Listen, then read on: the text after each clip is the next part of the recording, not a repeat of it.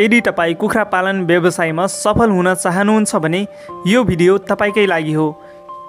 Poultry farming high risk हुने व्यवसाय हो। अन्य पशुमा भन्दा कुखुरामा विभिन्न रोगहरूको सङ्क्रमण हुने जोखिम उच्च हुन्छ कुखुरामा लाग्ने यस्ता रोगहरू पनि छन् जसको सङ्क्रमणबाट कुखुरामा सय प्रतिशतसम्म पनि मृत्युदर हुने गर्दछ। आजको यस भिडियोमा कुखुराको सबैभन्दा खतरनाक रोगको बारेमा चर्चा गर्नेछौँ। यो रोग लोकल कुखुरा ब्रोइलरमा प्राय देखिरहने र खोर नै रित्तिने गरी देखिन्छ।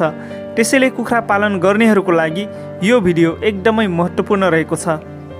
आज हामी कुरा गर्न लागेको रोगको नाम हो रानीखेत रोग। यो रोग विशेष गरी ग्रामीण भेगका कुखुरामा बढी असर गर्छ।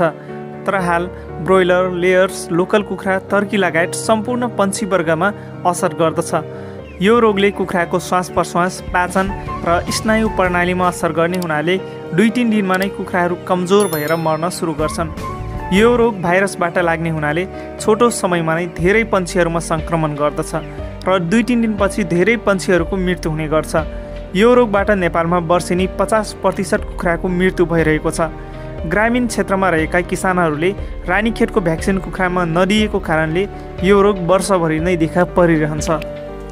रानीखेत रोग लागेमा कुखुराहरू अचानक छोक्राउने दाना खाना बन्द गर्ने श्वास फेर्न गाह्रो हुने घाँटीबाट अनौठो आवाज निकाल्ने चुच्चो र नाकबाट पानी जस्तो बाक्लो पदार्थ निकाल्ने अन्डा उत्पादन घट्ने टाउको झट्काउने घाँटी तान्ने जस्ता लक्षणहरू देखाउँछन्। त्यसै गरी कुखुराको घाँटी पखेटा खुट्टाको प्यारालाइसिस हुने र हरियो रङको छेर्ने गर्छन्। यसरी लक्षण देखाएको दुई तिन दिनमा नै अचानक धेरै कुखुराहरू मर्दछन्। गम्भीर खालको सङ्क्रमण भएमा अस्सी प्रतिशतसम्म पनि कुखुराको मृत्यु हुने गर्छ। कुखुराहरूलाई रानीखेतबाट बचाउने एक मात्र उपाय भनेको भ्याक्सिनेसन हो। यो भ्याक्सिन स्वस्थ कुखुराहरूलाई बिहानी पख दिनुपर्छ। रानीखेतको पहिलो डोज चल्लाको पाँचदेखि सात दिनमा दिनुपर्छ। यो भ्याक्सिन साना चल्लाहरूको आँखा वा नाकमा एक थोपा दिनुपर्छ।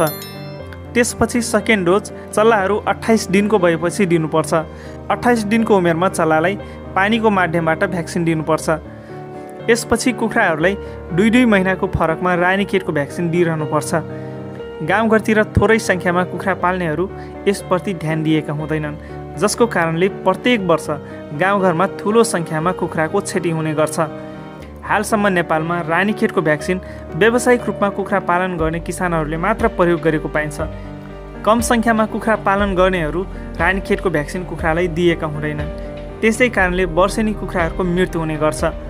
थोरै सङ्ख्यामा पाल्ने किसानहरूले पनि आफ्ना कुखुराहरूलाई रानीखेतको भ्याक्सिन लगाउन अनिवार्य हुन्छ। रानीखेतबाट बचाउन कुखुरालाई भ्याक्सिनको साथसाथै जैविक सुरक्षामा पनि उत्तिकै ध्यान दिनुपर्ने हुन्छ।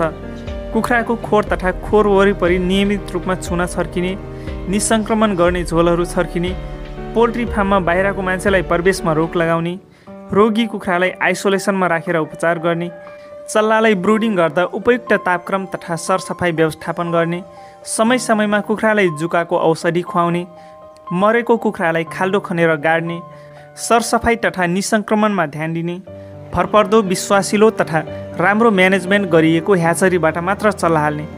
यी उपायहरू अप्नाएर तपाईँले कुखुरा पालन गर्नुभयो भने रानीखेत रोगबाट कुखुरालाई बचाउन सक्नुहुन्छ।